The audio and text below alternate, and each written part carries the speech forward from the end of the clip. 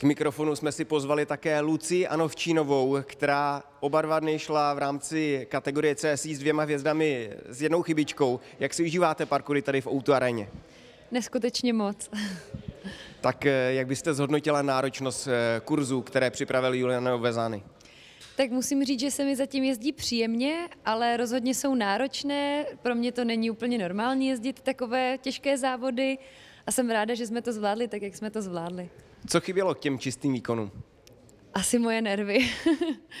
Kdybych se trošku víc jako možná koncentrovala ještě ke konci těch parkurů, tak by to dopadlo líp možná, ale já jsem spokojená hrozně.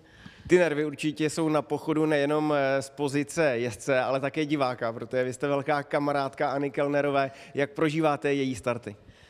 Tak musím říct, že opravdu ten čtvrtek byl pro mě psychicky jako náročnější než ty moje starty.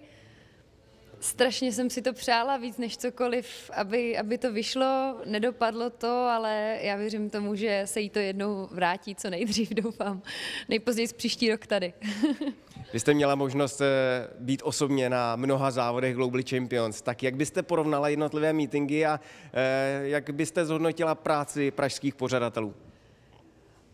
Všechny meetingy jsou vždycky úžasně udělané, ale opravdu musím říct, že tady v, v Praze mě to překvapilo, protože ne, nezapsal jsem ani jednu jedinou chybičku od pořadatelů nebo od kohokoliv, je to perfektně zvládlé a jo, určitě jsme nejlepší tady v Praze.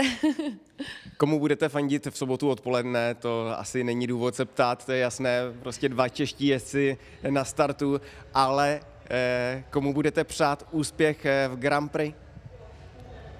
Fuh, o, já jsem nad tím, já jsem nad tím ještě ani úplně nepřemýšlela, já jsem zatím držela opravdu palce jenom pražským lvům.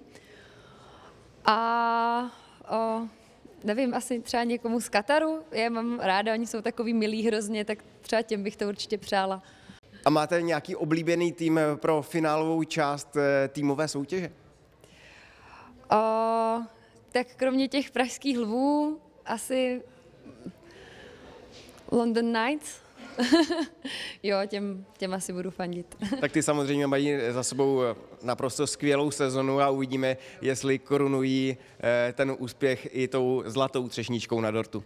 Uvidíme, těším se hrozně moc.